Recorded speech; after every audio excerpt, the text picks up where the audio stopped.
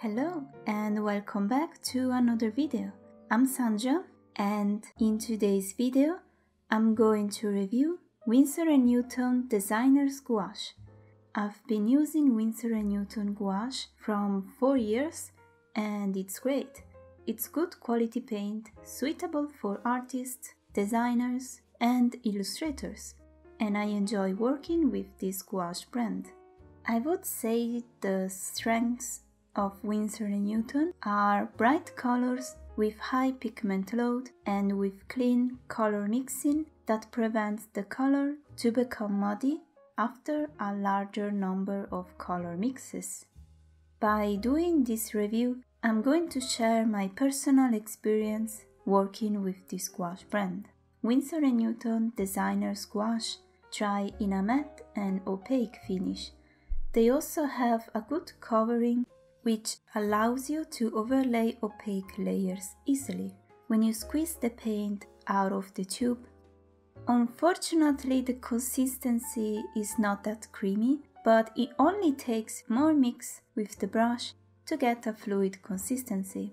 But when the paint is diluted with water, I find it very easy to handle the paint. So I would recommend you to add water to the paint to help the flow of your brush. It will be easier to handle and to mix the paint. It will also prevent the paint from cracking, as Winsor & Newton recommends to do so and add water. And don't worry, since the paint is very pigmented and opaque, you will still get nice flat and opaque washes, even if you add water. I also find this brand very suitable if you like working with gouache like watercolors, so with more transparent washes. Since the colors are very bright, I find them very similar to watercolors. What I really like about this brand is that you can find so many detailed informations and tips regarding their gouache colors, how they make them, the pigment used, and more. They also give helpful tips for gouache as a medium, which really shows that Winsor & Newton is a professional and good quality brand. If you're interested to know more in details, I will leave all the links to their website and more in the description. Winsor & Newton Designer's Gouache is originally from UK. It offers a spectrum of 82 colors available in 14mm tube. You can also get some colors in bigger tubes. Designer's gouache is divided by four series. I have colors from all the four series, but it wasn't planned for this video. I simply chose these colors based on recommendation and on the colors I like using the most. And they all dries in a beautiful matte finish. There is a difference of opacity between the colors I have but they are marked as opaque and semi-opaque colors. Now I will explain the meaning of the symbols and how to read the Winsor Newton label. Something I love about Winsor & Newton gouache is that you can find many informations regarding their colors characteristics both on their tube and on their website. On their tubes is marked the color name, color swatch, permanence, the series number, the opacity and transparency, light fastness, and the pigment used. I will start with the permanence, which it refers to the light fastness and film and chemical stability of the paint. The permanence of a color is described by using the system of AA, A, B, and C. AA being extremely permanent to C being fugitive, which means that some fugitive colors may fade within months. The light fastness is described by the Roman numeral from 1 to 5, 1 and 2 being the highest light fastness available and considered permanent for artists' use, 2, 3, 4 and 5 having a lower light fastness rating. The opacity is indicated by square symbols. I only have opaque and semi-opaque colors at the moment, so opaque colors are marked with a full square. Relatively semi-opaque colors are marked with half full square. There are also semi-transparent colors that are marked with an empty square with a diagonal line and transparent colors that are marked with an empty square.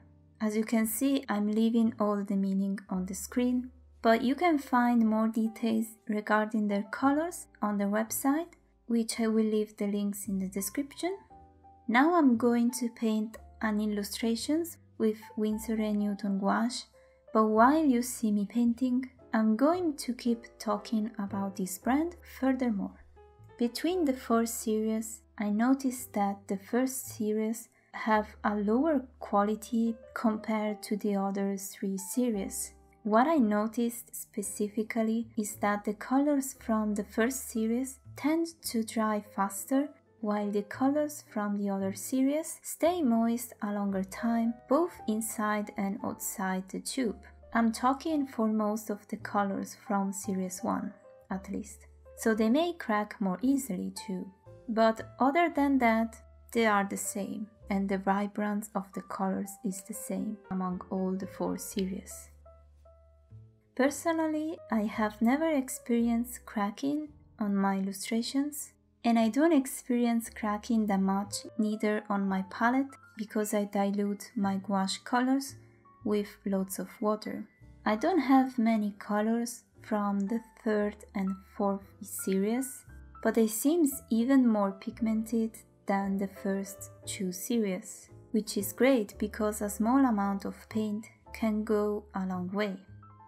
Last week I reviewed Royal Talens gouache if you haven't watched the video, please go and check it out. I will leave the link in the description and top right on the card because the gouache brands I use the most are Royal Talens and Winsor & Newton. In that video I also explained more about my way of working with gouache, which I won't talk it about it again in this video. I haven't tried many gouache brands yet, so I'm not sure how fair is for me to do a comparison between these two brands, but I thought I would give you my opinion comparing the gouache brands I use the most to give you a better idea of their gouache differences and maybe it can help you to have a better idea about Winsor & Newton gouache, but also Royal Talens gouache. For example, I find them both good quality paint, but I find Winsor & Newton has a better quality and a better formula, such as opacity, coverage, and vibrance of pigment. I like both brands, so for me it's more a choice based on color preference. I can buy colors from Winsor & Newton, which Royal Talens doesn't have, and the other way around. I love the indigo from Winsor & Newton, which I can't find from Royal Talens, but I love the carmine red, which Winsor & Newton doesn't have. For example, I personally prefer the greens and browns from Winsor & Newton rather than Royal Talens. They are brighter even when I mix them with other colors. I love the color range I can get when using the greens and browns from Winsor & Newton. And that's it. I hope you enjoyed my Winsor & Newton review. Stay tuned because I'm going to review other gouache brands on my channel. If you have any questions about Winsor & Newton gouache or about gouache as a medium, feel free to leave a comment down below and I will be happy to reply and help you. Also, let me know if you have ever used Winsor & Newton Designer's Gouache before and if you like it. I would love to know your opinion and thoughts about this brand.